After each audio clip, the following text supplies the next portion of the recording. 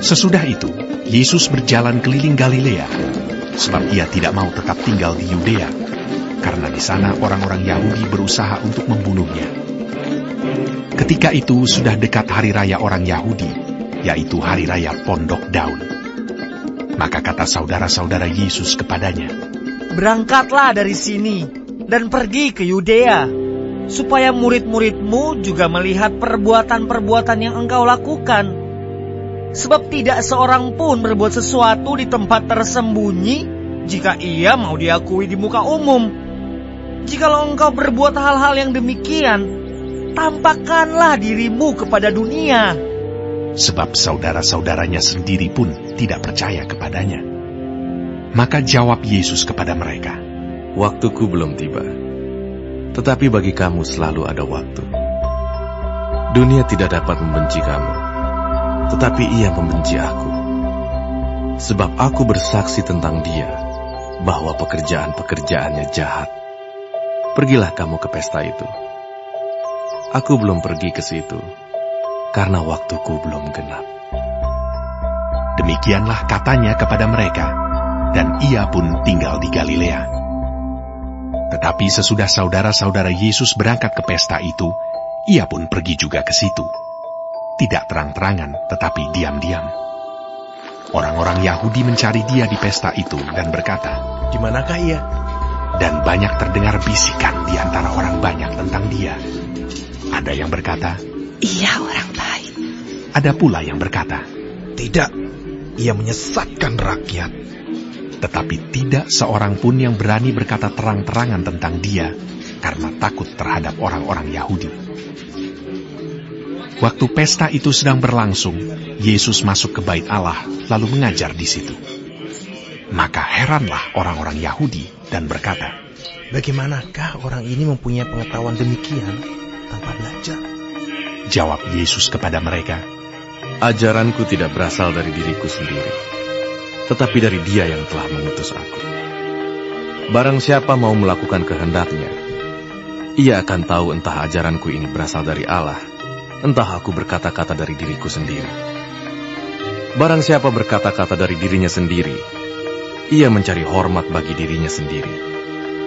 Tetapi barang siapa mencari hormat bagi dia yang mengutusnya, ia benar dan tidak ada ketidakbenaran padanya. Bukankah Musa yang telah memberikan hukum Taurat kepadamu? Namun tidak seorang pun di antara kamu yang melakukan hukum Taurat itu. Mengapa kamu berusaha membunuh aku? orang banyak itu menjawab, Engkau kerasukan setan. Siapakah yang berusaha membunuh engkau? jawab Yesus kepada mereka, Hanya satu perbuatan yang kulakukan, dan kamu semua telah heran. Jadi, Musa menetapkan supaya kamu bersunat. Sebenarnya sunat itu tidak berasal dari Musa, tetapi dari nenek moyang kita. Dan kamu menyunat orang pada hari sabat. Jikalau seorang menerima sunat pada hari sabat, supaya jangan melanggar hukum Musa, mengapa kamu marah kepadaku? Karena aku menyembuhkan seluruh tubuh seorang manusia pada hari sabat.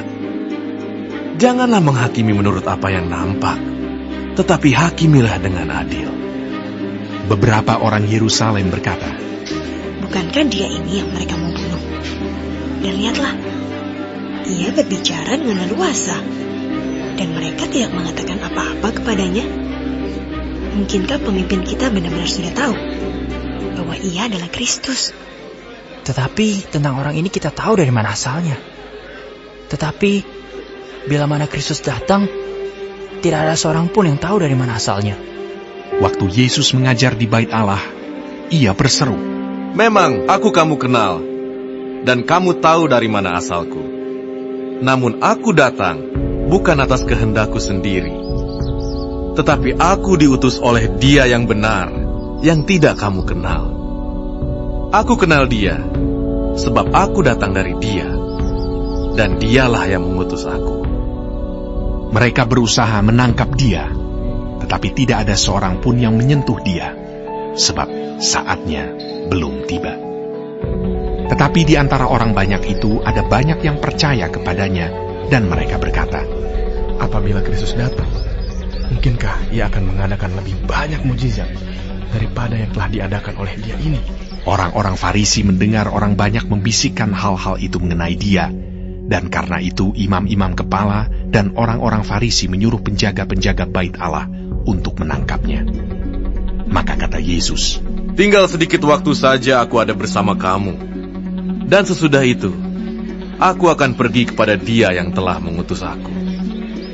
Kamu akan mencari aku, tetapi tidak akan bertemu dengan aku. Sebab kamu tidak dapat datang ke tempat di mana aku berada.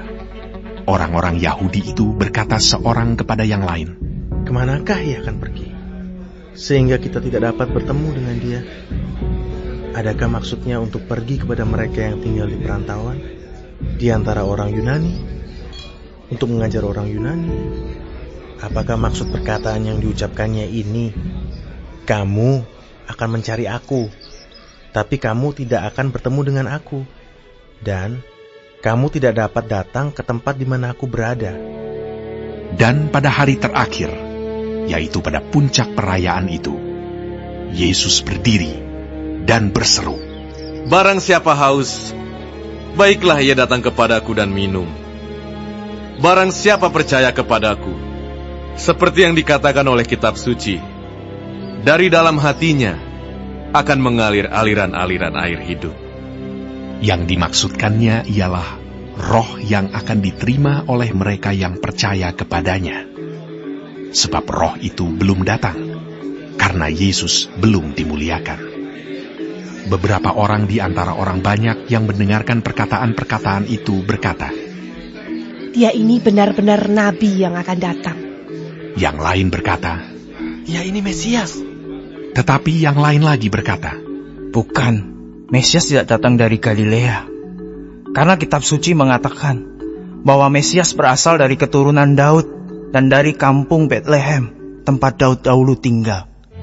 Maka timbullah pertentangan di antara orang banyak karena dia.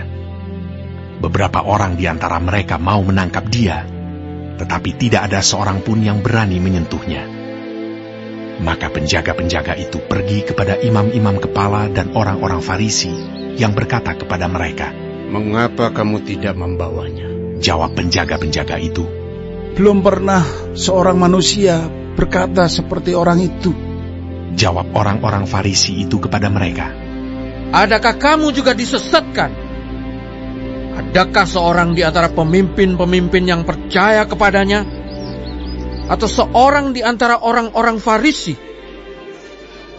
Tetapi orang banyak ini yang tidak mengenal hukum Taurat, terkutuklah mereka. Nikodemus, seorang dari mereka yang dahulu telah datang kepadanya, berkata kepada mereka, Apakah hukum Taurat kita menghukum seseorang sebelum ia didengar dan sebelum orang mengetahui apa yang telah dibuatnya? Jawab mereka, Apakah engkau juga orang Galilea? Selidikilah kitab suci, dan engkau akan tahu bahwa tidak ada nabi yang datang dari Galilea. Lalu mereka pulang, masing-masing ke rumahnya,